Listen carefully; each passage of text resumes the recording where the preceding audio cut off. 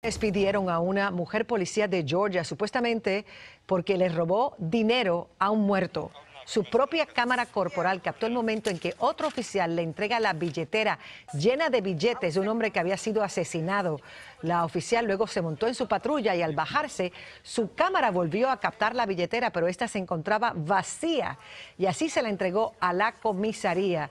La mujer policía ha sido despedida en el acto. No se percató de ese detalle de que su cámara estaba filmando.